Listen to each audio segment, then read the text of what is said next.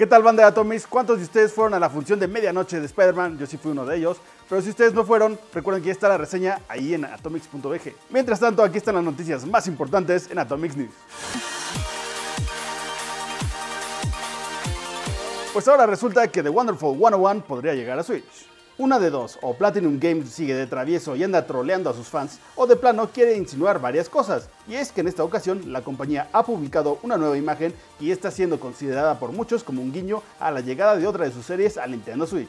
La imagen fue publicada hoy por el estudio a través de su cuenta de Twitter y en ella se muestran a varios de los personajes de The Wonderful 101 jugando frente a una pantalla mientras usan un par de Joy-Cons. Ellos tienen un diseño personalizado que los hace asemejarse a los controles de un Famicom. Obviamente la imagen ya comenzó a generar polémica y discusión debido a que muchos consideran como una clara insinuación de la llegada de la serie a Switch. Sin embargo, aún se debate sobre si el juego al que se hace alusión consiste de un port del título que vimos en el Wii U o en su defecto a una entrega totalmente nueva. ¿Será que Platinum Games tenga algún anuncio sorpresa de Bayonetta o de Wonderful 101? A lo mejor sí.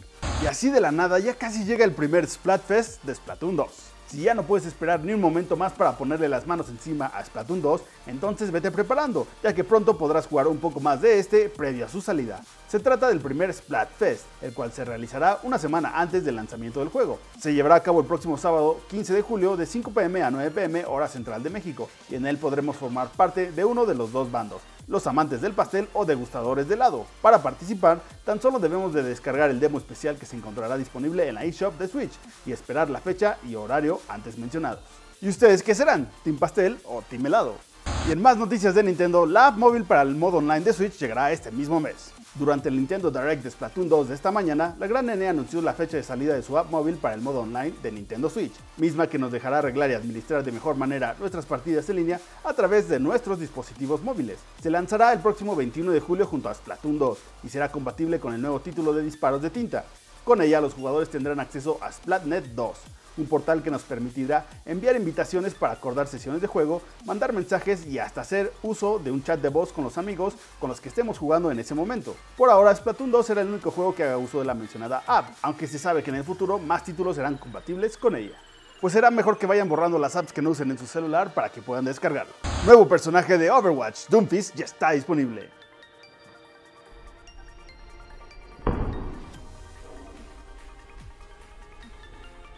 La espera por fin terminó. Blizzard reveló esta mañana a Doomfist, uno de los personajes y villanos de Overwatch de los que ya se sabía su existencia desde hace varios meses, pero del que no se dio a conocer su identidad sino hasta ahora. Un nuevo video con una genial animación fue el medio por el que se presentó oficialmente a este poderoso personaje. Tal y como se nos había insinuado en reiteradas ocasiones, Doomfist utilizará como arma principal su enorme guante dorado, mismo que aumenta su fuerza física y que le permitirá disparar algunas balas y proyectiles. Se trata de un personaje que aunque no es muy veloz, es capaz de acabar rápidamente con quien se le ponga enfrente.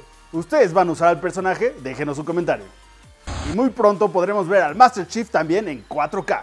Esta mañana 343 Industries anunció que Halo 5 Guardians recibirá pronto una nueva actualización que hará que el juego sea compatible por completo con el Xbox One X y que le permitirá aprovechar al máximo sus resoluciones en 4K. Ellos planeaban hacer el anuncio durante E3 2017, aunque prefirieron desistir debido a que aún no se encontraban listos para revelarlo. Por el momento y más allá de la confirmación, se carecen de detalles adicionales al respecto. Sin embargo, 343 Industries menciona que darán a conocer más información conforme se acerque la fecha de liberación del parche. Pues con que la actualización no pese más de 20 gigas, nos damos por bien servidos. Yo soy David Berrones, chequen todo el contenido que hemos hecho en atomics.bg de Spider-Man Homecoming y vayan, por supuesto, a verla al cine. Ah, y por cierto, no se vayan del cine hasta no ver las dos escenas post créditos de la película.